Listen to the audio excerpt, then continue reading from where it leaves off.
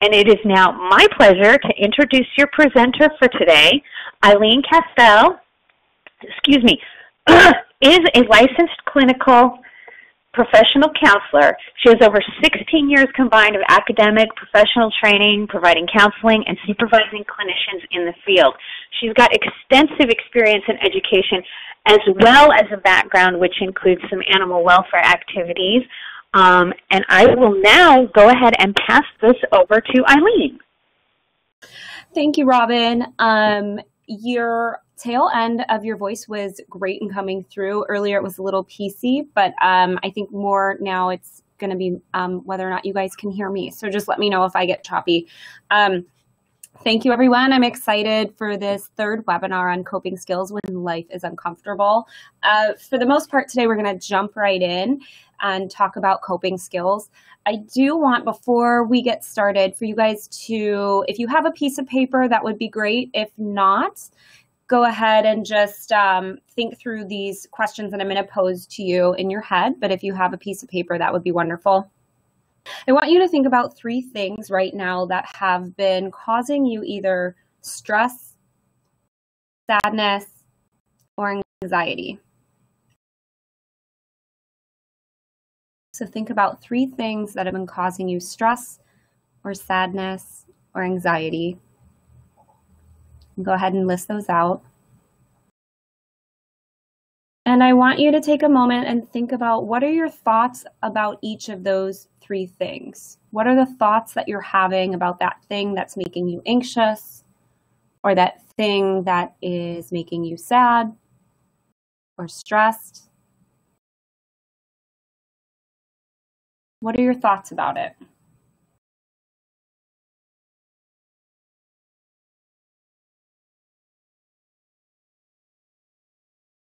And finally, what are what are some of the feelings that are there?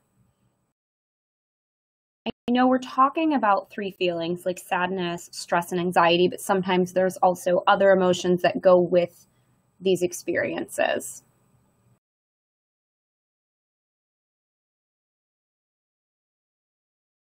So just hold on to your notes or what you may have thought about in your head, and I'm sure you're going to be able to come back to those things throughout this seminar as we go through.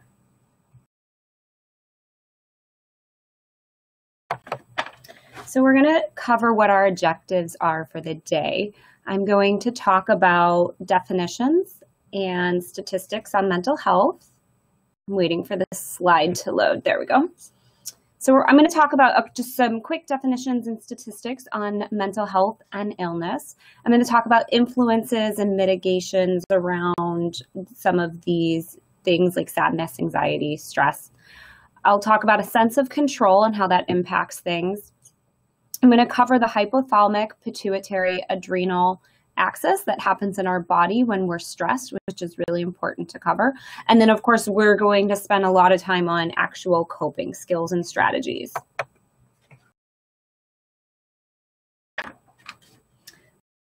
Okay, so a lot of these things we probably don't need time to really define because most of us are familiar with stress, sadness or depression, anxiety, um, compassion fatigue, which is the physical and or mental exhaustion and emotional exhaustion um, experienced by those who care for sick or traumatized people or animal over an extended period of time. And then grief, which a lot of you are probably exposed to from time to time, given the work that you're involved in. So uh, the top causes of stress is job pressure, money, health and relationships, and um, the American Institute of Stress reports that 80% of workers feel stress on the job, and nearly half say that they need help learning and how to manage stress. And about 42% say that their coworkers need to learn how to better manage stress. The American Psychological Association conducted a survey about stress. It's a bit outdated at this point, but it was in 2004. Um, but that that survey concluded that 54% of Americans are concerned about their level of stress in their daily life. So this is clearly a really important topic. Some other statistics uh, globally, one in 13 suffer from anxiety. So if there are 40 of us on this webinar, then that means that definitely there's absolutely three people for sure that experience anxiety and suffer from that um, that are listening. So, anxiety disorders tend to be more reported in the Western societies, and conversely, depressive symptoms and disorders are more reported in Asian and the Middle Eastern countries. Depression affects more than 15 million Americans, so about 6.7% of the US population in a given year. And anxiety disorders affect about 40 million adults, which is 18% of the population every year. And then in the UK, nearly a fifth of adults experience anxiety or depression, according to the latest figures. So, um, th- this is something that needs to be addressed, definitely, which we're doing. Um, and it just helps us know that depression and anxiety, they're found in every society all over the world, not just in the Western world. Um, just a quick note PTSD, uh, post traumatic stress disorder, does fall under the umbrella of anxiety disorders. And you can suffer from both anxiety and depression at the same time. Okay, so influences and mitigations. So, genetics. Um, you know, genetics definitely influence our tendency for stress, anxiety, or sadness. Um, there's a her- heritability to anxiety and depression. If it runs in your family, you're more likely to experience these things. And also, if you've suffered from depression or anxiety before, it's more likely to happen again. So, I'm going to talk a bit about level of avoidance. Um, we we all experience unpleasant thoughts, unpleasant emotions, unpleasant sensations, and there is a natural tendency to want to avoid uncomfortable experiences experiences. So, this is what we call experiential avoidance. We try to avoid uncomfortable experiences, hence calling it experiential avoidance. So, um, attempts to avoid uncomfortable thoughts, feelings, memories, physical sensations, um, or other unpleasant internal experiences actually creates more harm in the long run.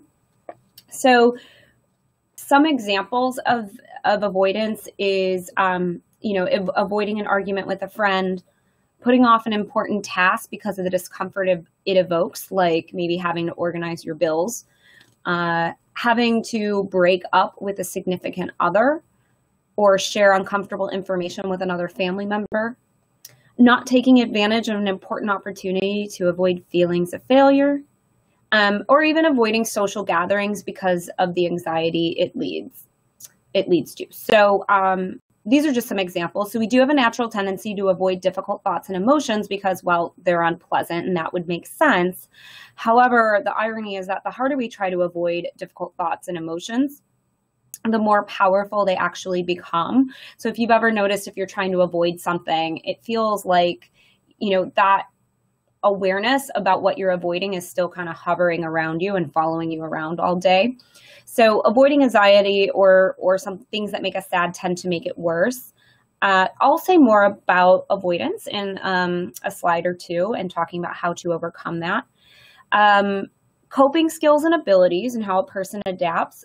Have you ever noticed or thought to yourself um, about somebody else's situation? Like, I don't know why they're having such a hard time. I don't. I don't really think it's a big deal or even the opposite i can't believe um, how well that person's like coping with things you know so how well we, how well we handle life stressors um, does depend on all the other things i've mentioned thus far but also on our coping abilities and we learn our coping from um, our coping meaning like self-soothing so we learn we learn this through our caretakers early in life we learn it through vicarious learning of others, and we learn through the society that we live in how to cope. Um, so the great news is, is no matter what though, and no matter what you've learned in terms of coping, even if it is avoidance, uh, that it can be improved and refined.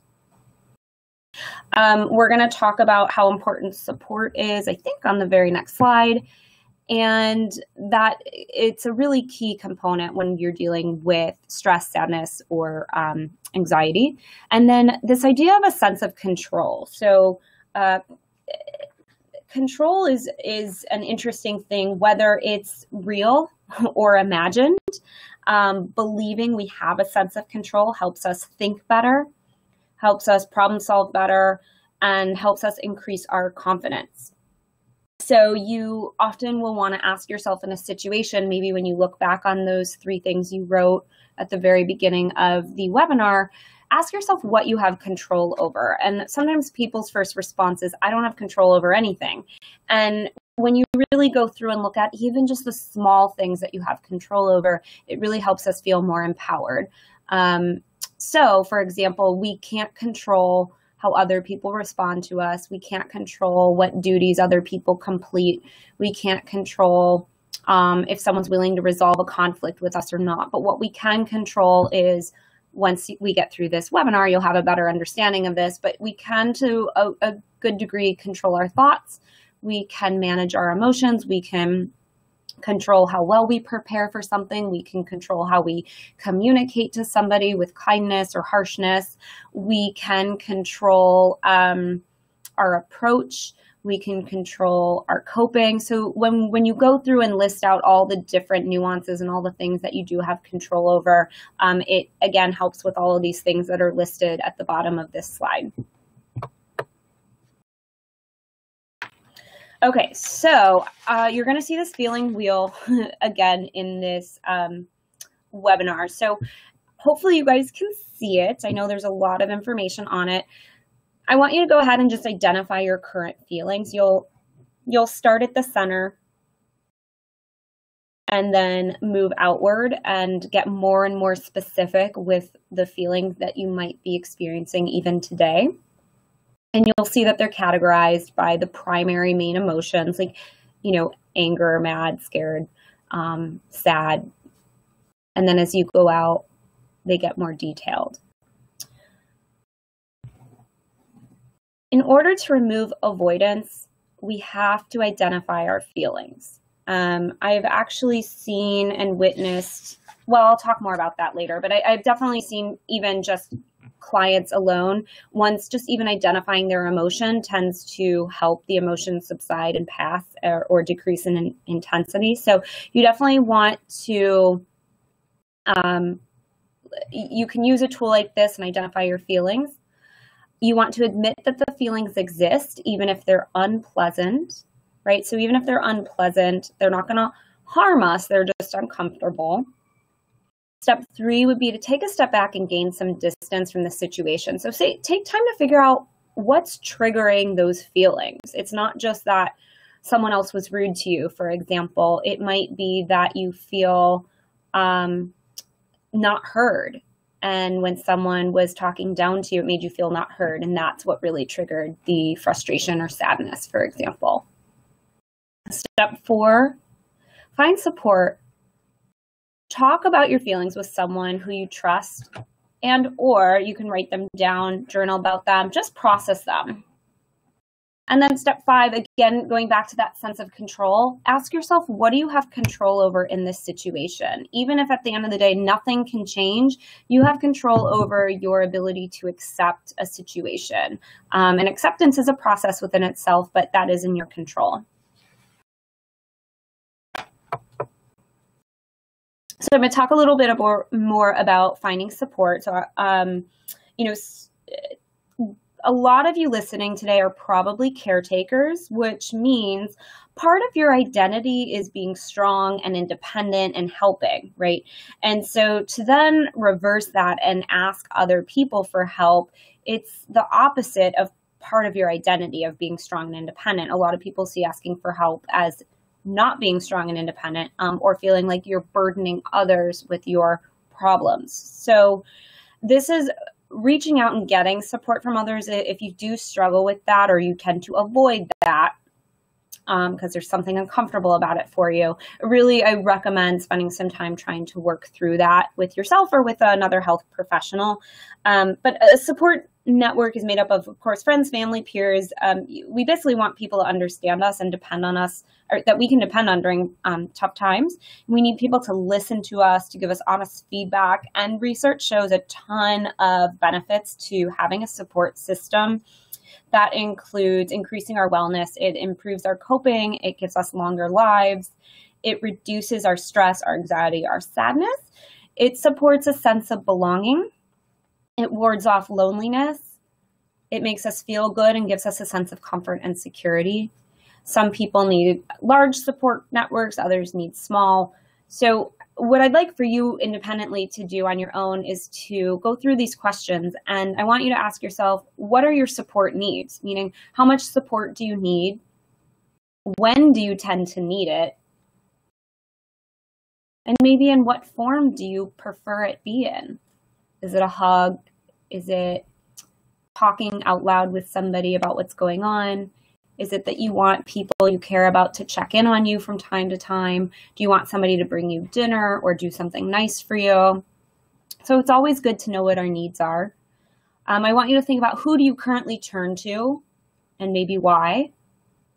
And who else might you be able to turn to that you don't currently do at this time?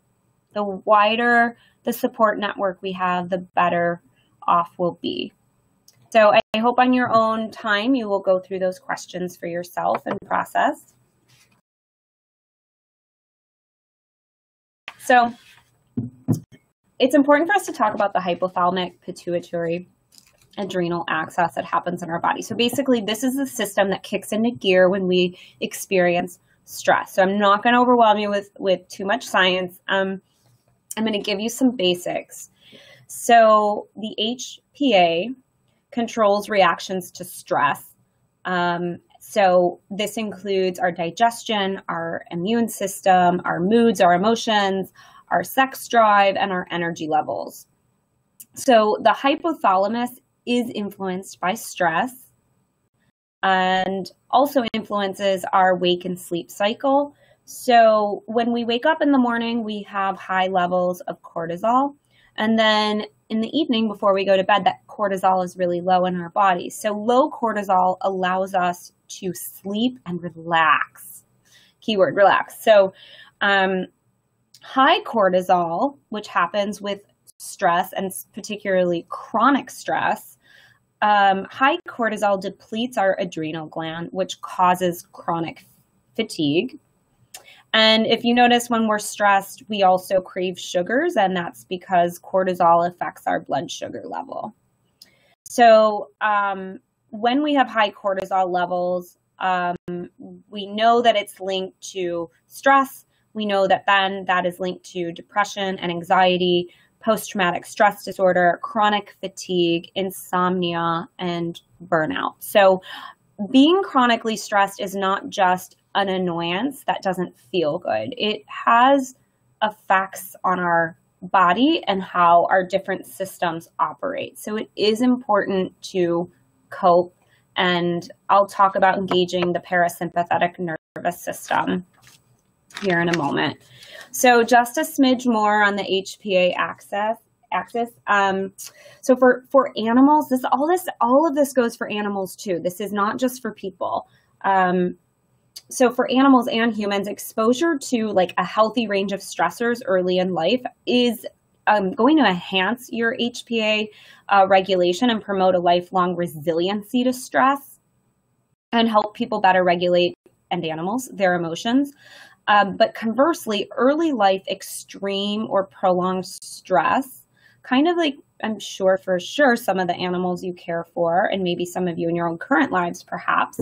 Um, this causes a hyperactive HPA axis and contributes to a lifelong vulnerability to stress and difficulty regulating emotions.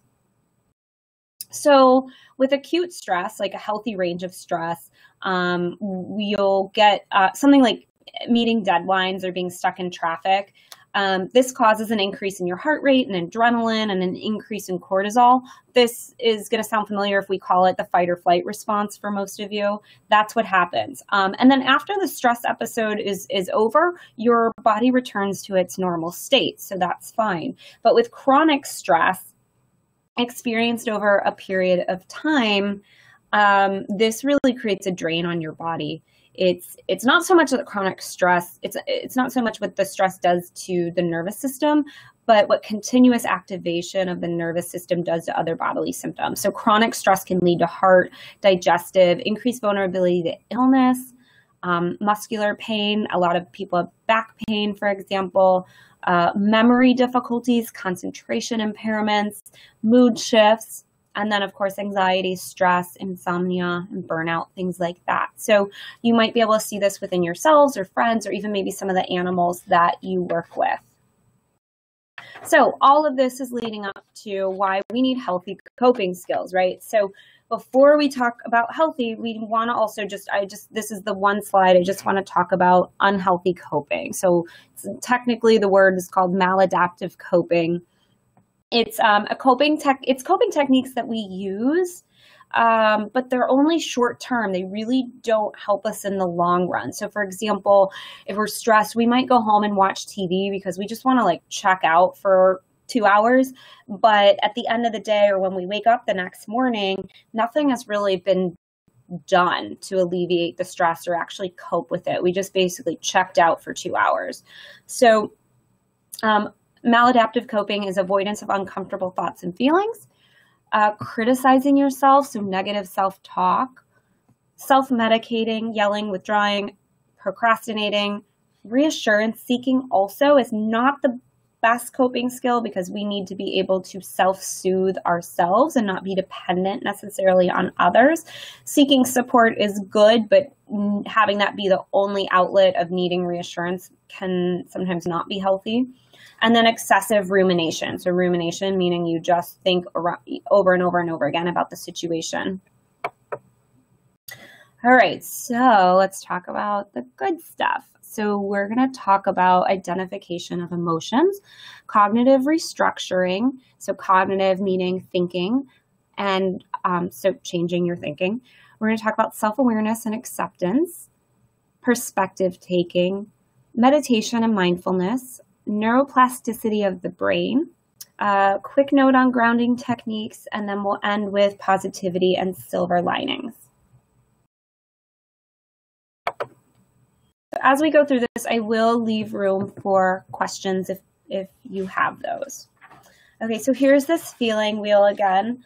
Um, I, I really do use this, um, and I, I have a group practice. There's myself and five clinicians, and every one of us use this with our clients, our high functioning clients. This is not for um, necessarily just people that are struggling with emotion identification, but I we use this with our very high functioning um, professional clients as well. So um, it's a great tool. If you just put in your search engine uh, feeling wheel, you will find all sorts of these, and I would just save it to your phone so you can grab it whenever you need it.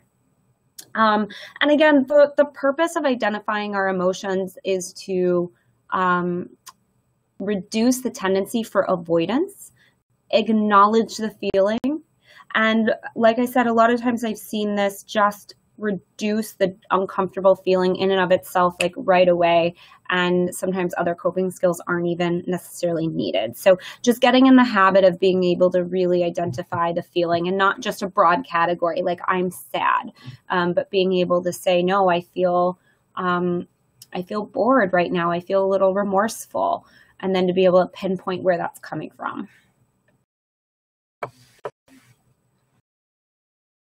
So, moving into cognitive restructuring, we are going to talk about your thoughts. We're going to talk about how they affect your feelings and how your feelings affect your behaviors. So, okay. So, before we can change our our thoughts, we have to know what we're working to change. So, thinking errors are very common and they happen all day long, um, and they affect our moods. So I'm going to cover some of the thinking errors.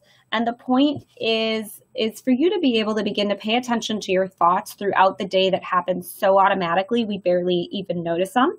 And to then begin to identify um, where your thinking is problematic and causing you um, sadness, anxiety, stress. So, thinking errors is basically faulty thinking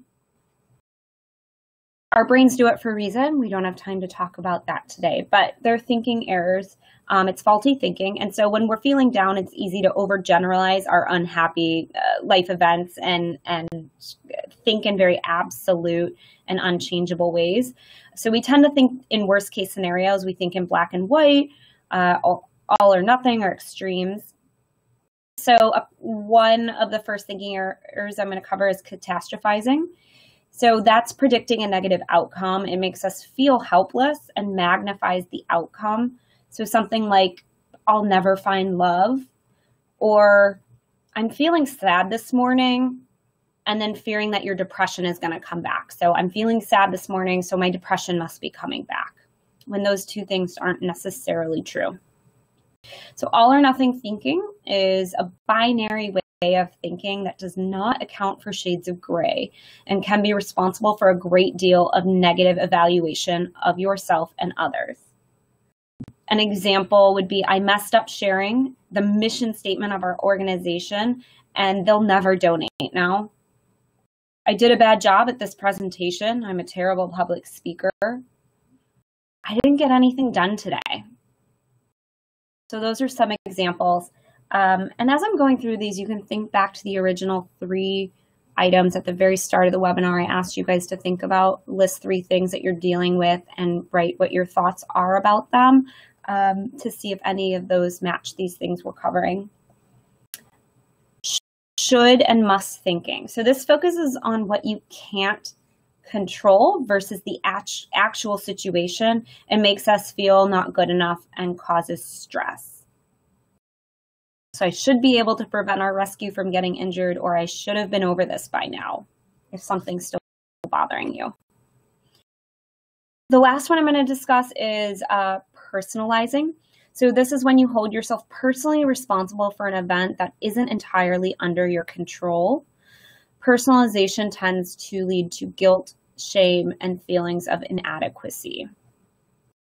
There are a lot more thinking errors out there. These are just the what are there four that I'm covering today. If you want to learn more, you can just plug in thinking errors into your search engine and get a lot more information. Okay, so we've talked about thinking errors. Now we're going to talk about how do you change your thoughts. We are not our thoughts. I can't stress that enough how we buy into our thoughts as full fact and full truth and we don't second guess them sometimes. Um, we don't have to believe everything we think. For example, have you ever thought to yourself, I don't want to go to work today? Probably snooze, and then you get up and you go, you go to work. Um, you know, you might think at some time like, oh, I could just, I could just kill my boss but you don't actually start plotting your boss's death, right? Um, you can pick and choose which thoughts you can latch onto and which ones to let go of.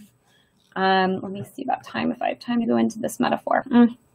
I'll come back to it if, if we have more time. Um, so, changing the way you think begins by paying attention to your thought process and spend some time throughout your day just self reflecting on the way in which you think. So, um, practice positive.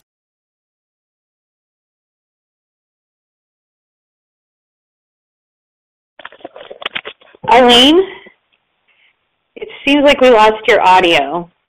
Oh, it looks like we, oh, she's coming back. Hi, everybody. This is Robin again. It looks like Eileen got disconnected for. Oh, I think she's back. Are you back, Hi, Eileen? I'm back. Um, I'm not sure if you guys were. Was I saying about checking in with our thoughts? I think that's a good to okay. start again. I think that might have been when we lost you. Okay. Um, sorry about that, everyone. Let's see.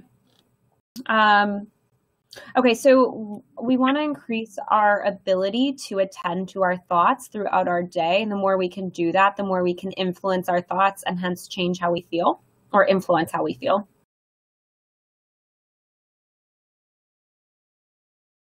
write down your thoughts throughout the day or set an alarm to do check ins throughout the day. That can be helpful. So, once you're in the habit of bringing more awareness to your thoughts and you start to recognize what your thoughts are, you can ask yourself if you and look at them and, and ask yourself if you're doing any thinking errors. So, for example, if you noticed a thought like, I should have used my time better this weekend, I'm so lazy.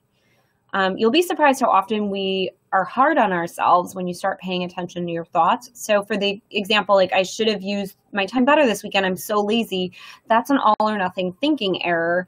Um, are you really just lazy, period? Or are you thinking in black and white terms, right? Maybe you needed a weekend to relax because you have been stressed, for example. So you can also you can also do this and work backwards. So if you notice you're stressed, angry, overwhelmed, sad, um, you can go back and then ask yourself, what am I thinking and why? So you can either identify your thought and then see how it affects your feelings, or you can do backwards and identify your feeling and then see what your thoughts are that are creating those feelings.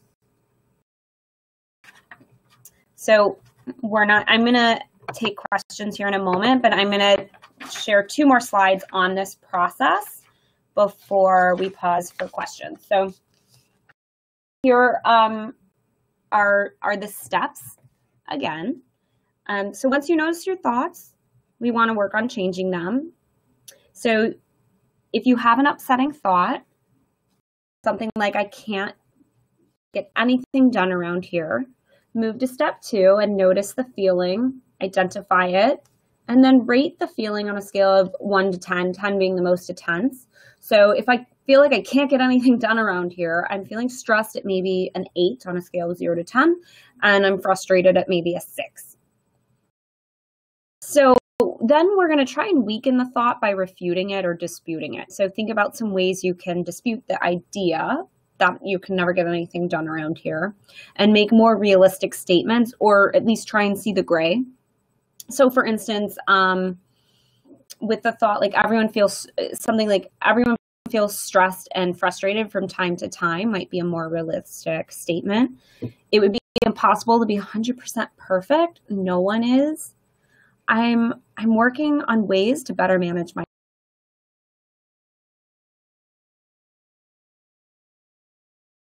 things are going to come up all the time that distract us from from the task and it's okay.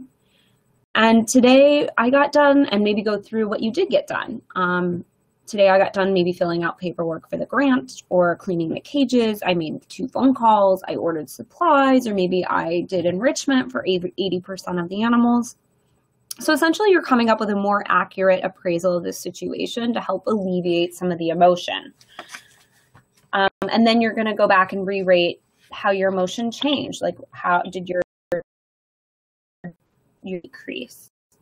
So let me show you one other way. It's the same. Eileen, your audio seems to be cutting in and out, and I'm showing that it's it's there's some audio loss for you. Um, I think we're having some issues with her internet connection. Looks like she's reconnecting, so.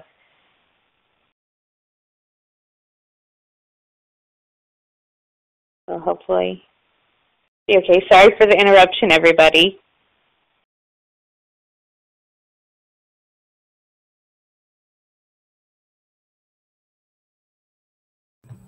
Hi, Robin. Can you hear me? I can hear you now. It looks like your internet connection keeps experiencing some issues um, yeah, it's, it's going on. Um, do you want me to call in, or maybe if it goes out again, I'll call in? We can do that. If it goes out again, then you can go ahead and call in. Okay. Um, so this is another example of how you can do this thought restructuring process that I was just talking about. So let's run through. Um, let's run through just the bottom one, um, just as an example, and you can always ask me questions after. Um, so the, the you want to identify the situation. So maybe I have nothing to do on my day off. The thought could be no one wants to hang out with me. I'm not cared about. And that makes three feelings come up maybe a lonely at a scale of eight, a sad at a six, and an anxious at a five. And then you want to refute the original thought or weaken it or find the gray area. So you might say to yourself, nope, everyone's lonely at times. It's a normal emotion. I'm a kind and caring person. People like these qualities. Um, maybe I could join a book club to extend my. And so then you'll want to recheck in in the emotions. The emotion, maybe the lonely goes down by two numbers and is now a six. The sadness goes down at five and anxiousness at a two. Why do we do this? It's easier to manage, um, let's say, anxious at a two than it is at a five. Process is not about getting rid of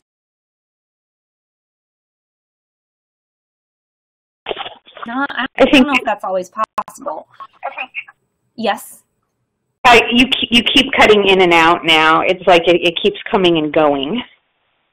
Okay. Is there where is the number for me to call in? It's up at the top of your screen above the slides. Do you see either a little telephone icon or a audio or microphone icon? Okay, let me let me try to log in then. Let me try calling in. Okay, I'm sorry. Thank you. Sorry, everybody. You just can't control internet connection sometimes. And the speed affects the audio and the video capabilities. So we'll get Eileen on the phone and we should be good to go. And again, if you have any questions, please feel free to use that chat over on the left-hand side of your screen and we'll make sure to pass those along to her.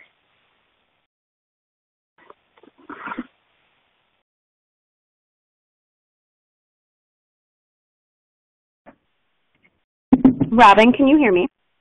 Yep, you sound good. Okay.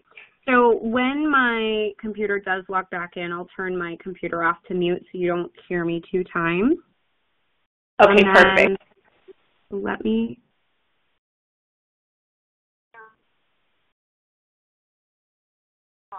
Okay. So I've muted that. Um, so, are you able to change the slides for me then? Yes, I sure can. If you just tell me to go to the next one. Okay. You might have to, Eileen, turn the volume on your speakers on your computer all the way down too.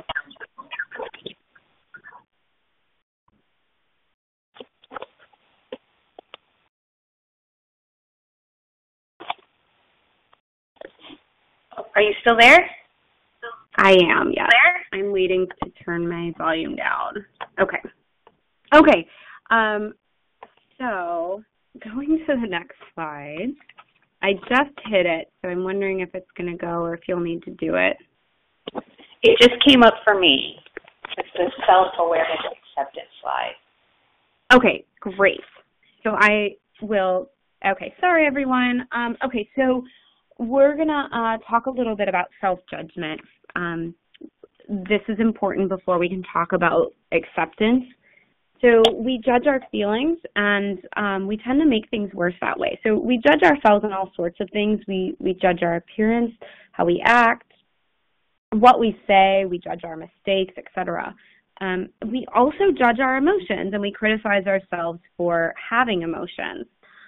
I think for many of us, we're taught that we should not have uncomfortable emotions, um, and that's probably from hearing things that are taught to us in you know to dismiss or minimize our emotions like don't cry it's okay you need to be tough um, or things like girls should be sweet. So these messages can come from our families or from our society. So for many of us instead of feeling our feelings we criticize ourselves for having them and we just really want to get rid of them um, we call ourselves weak dramatic maybe stupid or too sensitive so we, okay, so that's kind of the background on us judging our feelings. A little bit more information. So we have a primary emotion and we have a second we have secondary emotion. So a primary emotion is our initial reaction. Let's say I'm anxious. The secondary emotion arises from our self-judgment. For example, I'm so mad that I'm anxious or this is ridiculous. Um, Another example would be like if you feel anxious, you might judge yourself and say, Here we go again. Why does this always have to happen to me? This just isn't fair. So now you're not just dealing with the primary emotion of feeling anxious, but now your work is cut out for you even more because now you're having to deal with the frustration or you being mad or you're criticizing yourself. So now you have two things to deal with instead of just one. So what we try to do is eliminate the self-judgment and just say, you know what, I'm anxious and that's where I'm at and that's okay because this is how I'm feeling. Now how do I begin to cope with it? Um, so remember earlier on when I talked about experiential avoidance. So this is kind of what I'm referring to, where we have an emotion and then we judge it. Um, we're trying to avoid the emotion. We're, we're upset that we're having it. We're not accepting it. So um, you want to try not to wish your emotion away, to battle with yourself over it. You know, the important thing here is that we can't we can't criticize our way out of feeling a certain way. It, I don't know if it's ever worked for anybody. Um, you know, telling ourselves simply not to be sad or not to be stressed doesn't work. So instead, we need to work on accepting the emotion in the here and now moment for what it is and not judge it. Um, because really, at the end of the day, emotions can't go away unless you accept them. Um, you know, emotions are there to tell us something. So stop and listen to what your emotion is trying to tell you. Be curious about it and try not to judge it. Right? So easier said than done, but this is again a skill set to practice.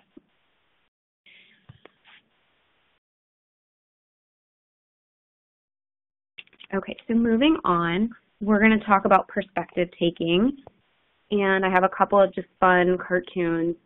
Um, perspective really changes everything. If we can change our perspective, we can change how we feel and we can change our approach.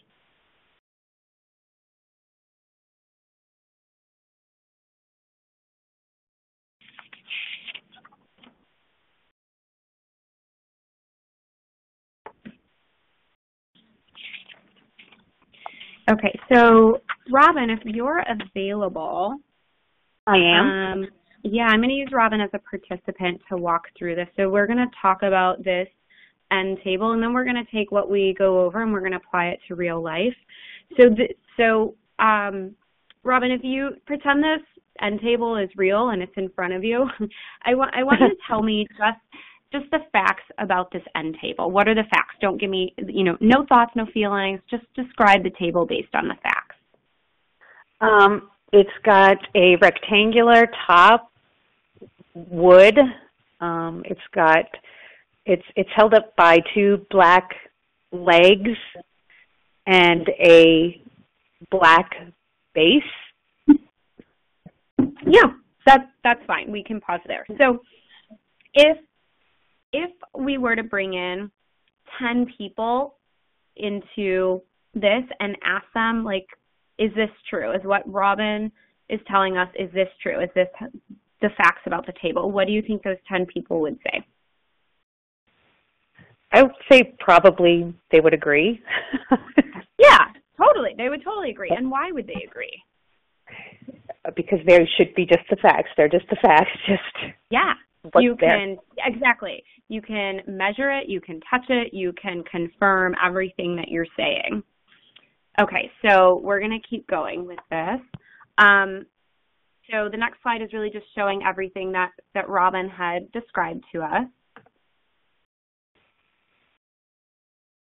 Okay so now um, robin can you tell me your perspective of the end table. And when I say perspective, I mean what are your thoughts, what are your feelings or opinions about the end table? Personally, I feel like it's very oddly shaped. I don't know how well it doesn't look to me like it might hold things very well or it might tip over. Um, mm-hmm. I'm not a big fan of okay. this particular end table. Great. Okay, and if we brought, let's just, your person number one, let's say we bring in a second person, would they 100% agree with what your perspective is? No, they would not. Okay. They may or may not. Some may, some may not. Right. So could you give me um, another perspective that's different from your own? That maybe um, number person number two might say, for example. Person number two might say this is a very well designed table. I, I love the design. It's very much my aesthetic and um, I, I feel like it's a very useful piece of furniture. Okay. And if we were to invite number person three in, what might their perspective be that's different from person number one and person number two? They may just be totally unaffected or may not even have an opinion. They may just feel it's nothing. Okay, great. So this is where if we were to keep going, right, person four, person five, person six, this is where it starts to get harder because we have to think outside of our own perspective. So I'll give you a couple other examples. So person number four might come in and be like, oh, you know what? Um, actually, this table is awesome, but if I remove the wood part, I could make the metal frame um, a really nice piece of artwork on the wall. Maybe it doesn't make sense to us, but that's what they're seeing. Maybe person number five comes in and says, you know what, this table is dangerous. It's um, a foot and a half to two feet high, and it's perfect for my three-year-old running around at home to crack their head on the corner of the wood. Okay, so what's my point in all this? My point is, is that all day long we take in facts about the world around us. They're true and authentic facts, but then we make interpretations on those facts to bring our own perspective. And our perspective, right, the interpretations that we're making on these facts are based on our histories, our current moods, our taste, our preferences, our experiences, our age, our current life circumstance, for example. So, you know, if if someone doesn't have a three-year-old running around at home, they may never see this table as dangerous. Um, if you aren't an artist who likes to deconstruct things, you might never look at this table as something that could be really useful for you. So, does this make sense? Okay if there's no questions, I'll keep I'll keep going. So the the main takeaway is that we walk around all day. There's real facts in front of us, but then we put our own spin on on the facts, right? So um, we'll put this into a real life situation now. So um, I'll give you. Um, I'm going to just give one example just because of time. So um, we want to state the facts of a situation. We don't want to include any feelings, any thoughts, just the facts. So the fact, the situation I'm going to give you is that you asked a coworker to go to lunch twice this week, and both times they said no, and they were really short with you, um, almost kind of rude. So you identify your current perspective and that perspective might be oh gosh like i wonder if she's mad at me or he's mad at me. I wonder if they like me just as an example. So then we want to pick perspectives that might serve us better. And when i say serve us better i mean help us feel better. I mean we there's a billion perspectives in the world. Why pick the ones that make us feel bad? So another perspective could be no, that coworker is really stressed, and when they're stressed, they tend to withdraw. Or maybe they're fighting with their significant other at home. Maybe they can't afford lunch. Um, or maybe they need personal quality time because they need to recharge in the middle of their day. Or maybe this week is particularly stressful and they just want to be alone. Um, okay, so how do you come up with new perspectives? Um, this type of perspective taking, I would also say, is like giving yourself some self compassion. It's not that they don't like you, it's that there's other things going on that you might not be aware of. So if you have trouble picking other perspectives that serve you better, if you don't really know the facts of what's going on and why somebody might have been rude or short to you, for example, um, and you're having a hard time coming up with other perspectives, ask yourself, what would I tell my best friend? Or even, what would I say to my 10 year old self? Right? If a if a 10 year old child or your 10 year old self came up to you and said, "My coworker was so mean to me, not just today but yesterday. Like I think they're mad at me." You'd probably tell your 10 year old self or 10 year old child, like, "Why do you think that? Like it sounds like you've been really nice to your friend, and maybe they're going through a hard time, right?" So the way we talk to other people and support other people is a lot more compassionate and caring and gentle than we talk to ourselves. Any questions with perspective taking? Okay. I don't have anything yet. Thanks, Eileen. Okay. Okay, so I'm going to touch on meditation and mindfulness. Um, we have about 70,000 thoughts a day. Most of them are about the future, which tends to be anxiety when we think about the future, or thoughts about the past, which tends to be like rumination or sadness or possibly depression when we think about the past. So very few of our thoughts throughout the day are in the current, present, here and now moment. Um, we do have some of those thoughts. It's like when you take a sip of coffee and you're like, oh, that's so good. Or when you walk outside and you go, oh, it's such a beautiful day out. Um, so when you're stressed, when you're sad, when you're anxious, this is a great tool. If you guys want to grab something near you, I don't care if it's food, a piece of food, I don't care if it's a pen or something that you're drinking, just grab something that's near you, keys, whatever, and look down at it. Look down at the object and stare at it. Study it. Look at the shapes, textures, the line. Look at the colors. How does this object feel in your hand? Is it smooth? Is it rough? What is the temperature? Does it smell like anything? And really look at it with a mindful with a mindfulness that you wouldn't usually do over such an object. Okay, so this was a really quick tutorial, but just taking a moment, it doesn't matter what it is, to engage your five senses takes us out of our head and into the here and now present moment.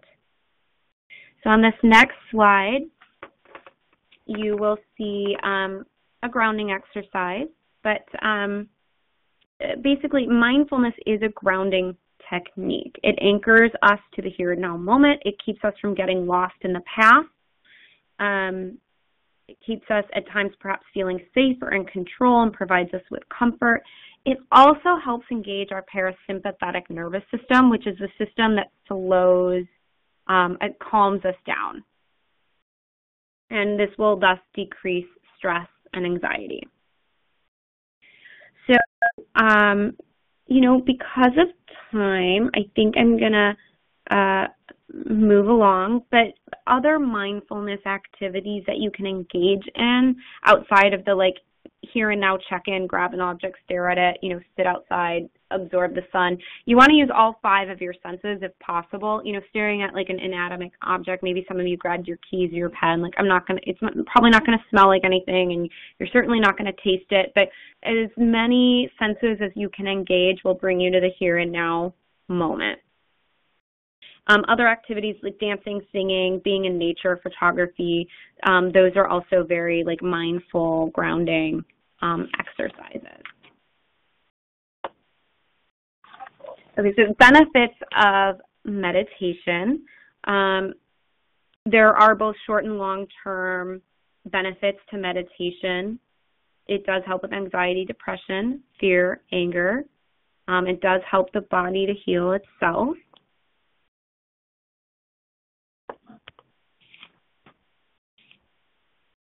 Yeah.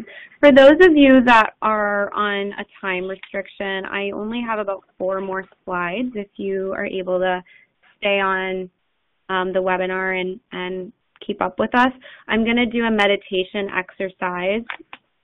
Um, I so I won't do as long as I was planning on doing it, but hopefully something to bring you guys some um, an experience with it as well as something to take away. So go ahead and get comfortable in your seat. Hopefully you guys aren't somewhere noisy, but if so, just focus in on my, my voice. Go ahead and close your eyes if you're comfortable and take a deep breath in and out. And take another deep breath in and out. One more breath in and out. Now I want you to imagine a ball of light at your abdomen. It can be any color, any density, whatever feels right. And imagine that ball, that circle of light in your lower abdomen. And extend a cord from that ball straight down into the ground, straight into earth. And take a deep breath as you continue to imagine that sphere of light. And get rid of all of any of the uncomfortable stress or sadness in your body and discharge it into that ball and down through that cord and into the earth. Get rid of all the negativity, all the stress. Let all of what does not belong to you, that's uncomfortable, collect in that ball of light and discharge through that cord and into the ground to be released. It is not yours to hold on to.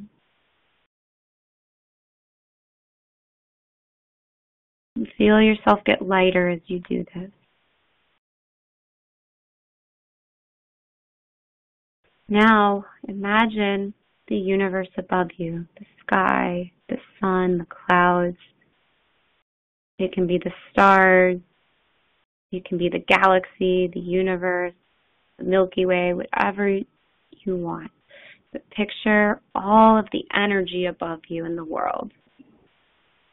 And start to see and feel that energy from the universe start to spin down through the top of your head and recharge your whole body with goodness and relaxation and strength and positive energy.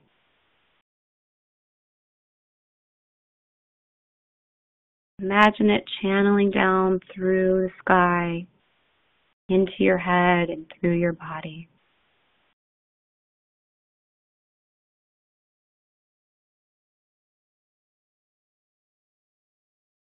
Let it fill you from your head to your feet to your fingertips. And now imagine a protective sphere around you, an energetic ball, sphere of energy around you to protect you so that no one can take your energy, no one can send you bad energy. It's your safety. And it can look like whatever you want, and it can be as big as and extend as far out as you want. You are in your protective bubble. And imagine that this bubble will walk around with you for the rest of the day, keeping you safe and energized. And when you're ready, take a couple deep breaths and come back to the webinar.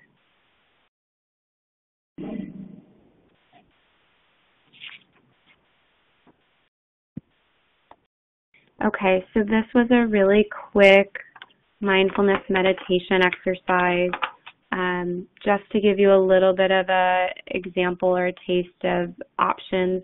Um, if you're interested in more there's um, an app called Headspace that has a lot of good meditations or mindfulness exercises for you to be walked through, and also YouTube is actually a great one to to um, use. Um, so okay, so moving on, um, neuroplasticity.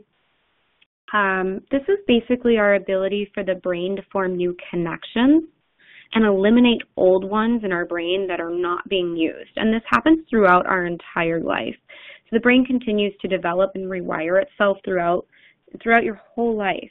And new experiences can change the structure of your brain and the functioning, which is pretty cool. So how does this relate? Well, in very short, simple terms, this relates to us because um, let's just talk about thinking for a moment, such as thinking errors. They're so automatic. They happen so quickly. We barely even notice that they're happening. So what do we want to do? We want to rewire our brain so that it doesn't automatically go to the self-criticizing or the negativity or certain statements that you might say to yourself all the time like I'm lazy. Your brain knows how to fire that neural pathway. It fires it all the time. So we want to rewire the brain by um, implementing new coping skills, right? So something like cognitive restructuring that we talked about will rewire your brain. It's hard to do, but it it does happen over time, and those neural pathways get worn and and um, easier to tap into and access. So due to time, I was going to go into this metaphor about cornfields that I really love, but I'm going to skip over that. Essentially, the main takeaway is is that um, practicing these coping skills, you can rewire your brain and over time start to feel better. Okay, so I have two more slides. I know we're losing some people because of time and I want to be respectful. So um, our brain is a is an awesome organ and it really is powerful and it pays attention to the negative experiences more than the positive ones. There's a reason for that and it's more to do with our evolutionary survival. You know, if we can see the bad and figure it out, it increases our chances of survival. So negative events pose um, a chance of danger and potential threats. So awareness of positive um, aspects do take deliberate effort because it's not necessarily linked to our survival per se. So in general, we need five positive things for every one negative. Total bummer, but um, that's what um, the, sorry, I had a call come in. So in general, we need five positive things for every one, so five to one ratio. However, a one to three ratio in real life can put you in an upward spiral. So how do you do this? um, a gratitude journal. It doesn't have to be a long letter to yourself. It might just be a list at the end of the day or the beginning of the day of the things that were good, no matter how sweet or small they were.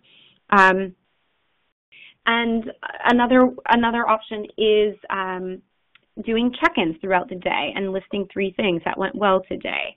Um, mindfulness in small amounts is very helpful. Savoring the good stuff. So if you um, have a busy day and you're able to be outside, you know, just taking you know 10 seconds to really focus on what a beautiful day it is or how the air feels on you so really making an effort to focus on the positive things can actually be a huge um, shift in our moods as research shows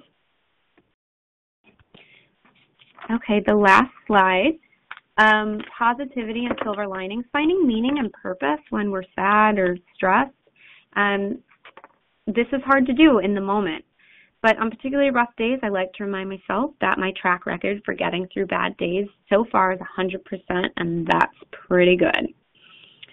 So ask yourself, is there anything good about this experience for me? Is there anything for me to learn?